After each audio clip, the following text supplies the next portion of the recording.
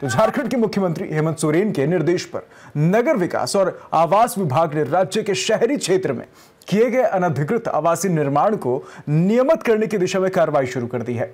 विभाग के द्वारा इसके लिए अनधिकृत आवासीय निर्माण के नियमितीकरण के लिए योजना 2022 का प्रारूप तैयार कर लिया गया है। मुख्यमंत्री ने योजना को सहमति दे दी है। योजना के तहत 31 दिसंबर 2019 के पहले निर्मित आवासीय और गैर आवासीय भवनों का नियमितीकरण हो सकेगा। तो शहरी क्षेत्र में किए गए अनधिकृत विचलित निर्माण को नियमितीकरण शुल्क के माध्यम से नियमितीकरण को लेकर झारखंड अधिनियम 2011 अधिसूचित किया गया था। लेकिन काफ़ी संख्या में लोग इस अवसर का लाभ नहीं उठा सके। फिर राज्य सरकार ने अनधिकृत निर्माण को नियमित करने के लिए योजना 2019 अधिसूचित किया गया। लेकिन विभिन्न निकायों और प्राधिकारों तथा विभिन्न संगठनों ने प्राप्त जानकारी के अनुसार यह योजना भी विभिन्न कारणों से आम जनता को रियायत पहुँचाने में विशेष कारगर साबित नहीं हो सकी। तो उधर रांची में शिक्षक सड़कों पर उतर है अपनी चार सूत्री मांग को लेकर सीएम आवास का घेराव करने की कोशिश भी हुई, लेकिन इससे पहले कि मामला बिगड़ता मौके पर स्वास्थ्य मंत्री बन्ना गुप्ता पहुँचते हैं और सब कुछ शांत हो जाता है। पूरी रिपोर्ट देखिए।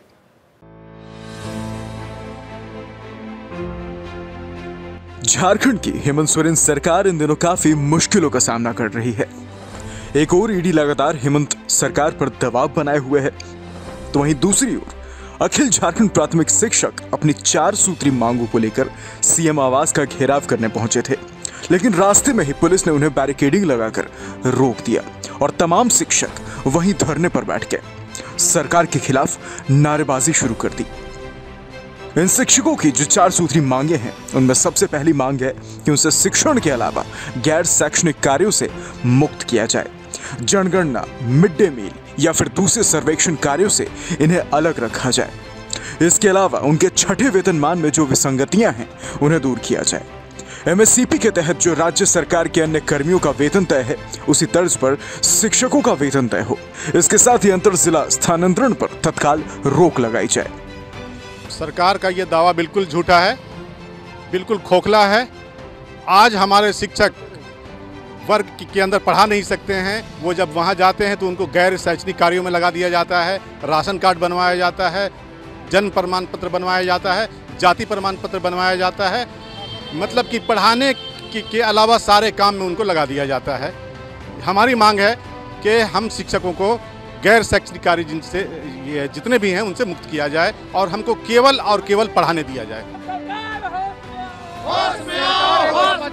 कर और आप लोग आंदोलन हुए मतलब आप कह रहे हैं कि सरकार अच्छी काम कर रही है, हमारे शिक्षकों को पढ़ाई छुड़वा करके मतलब जो है सो बच्चों का मत, ये जाति प्रमाण पत्र बनवा रही है बच्चों का जन्म प्रमाण पत्र बनवा रही है मतलब बच्चों का बैंक खाता खुलवा रही है, इस तरह से अनगिनत गैर शैक्षणिक कार्य करा रही है, आप कहते हैं कि अच्छा काम कर रही है। हम जा रहे हैं मुख्यमंत्री आवास घेराव करने के लिए। हमारा चार सूत्री मांग है एमएससीपी शिक्षकों को दिया जाए। छठा वेतनमान का जो विसंगति है, उसको दूर कर दिया जाए। हमारे शिक्षक दूर दराज के जिला में प्रस्थापित जो कार्य कर रहे हैं। उनको एक मौका देते हुए उनको अपने ज़िले में जाने के लिए अंतर जिला स्थानांतरण का मतलब जो नियमावली है, उसको सरल कर दिया जाए। और आप जितने जो है गैर शैक्षणिक कार्य में शिक्षकों को लगाते हैं, उससे हमको मुक्त कर दिया जाए। हालाँकि ऐसा नहीं है कि सरकार इन्हें नजरअंदाज कर रही है। मौके पर तुरंत ही स्वास्थ्य मंत्री बन्ना गुप्ता पहुँच गए। प्रदर्शन कर रहे शिक्षकों के साथ। ज़मीन पर ही बैठ गए और हाथों हाथ सरकार ने इनकी दो मांगों को स्वीकार भी कर लिया। गुरु ब्रह्मा, गुरु विष्णु, गुरु साक्षात महेश्वरा। गुरु का ज्ञान है तब न बन्ना गुप्ता मंत्री बना। तो गुरु के लिए तो आना ही होगा। तो गुरु के लिए यदि थोड़ा प्रोटोकॉल भी टूट गया तो क्या हुआ?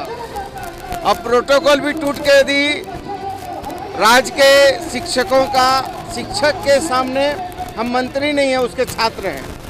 तो छात्र यदि गुरु के लिए आ गया तो क्या प्रोटोकॉल टूटा? कोई प्रोटोकॉल नहीं टूटा है। हम लोग कोशिश करेंगे, माननीय मुख्यमंत्री बहुत संवेदनशील हैं और माननीय मुख्यमंत्री जी से बातचीत कराकर इनका रास्ता निकलना चाहिए और रास्ता निकालने का प्रयास होगा। आपको बता दें कि शिक्षकों ने अपनी मांगों को रखने के लिए चार चरणों का एक आंदोलन चलाया। इसके लिए एक चरण में शिक्षकों ने कई सांसदों और विधायकों को मांग पत्र सौंपा था और आज तीसरे चरण में रांची कूच किया गया। रफ्तार मीडिया के लिए रांची से नौशाद की रिपोर्ट।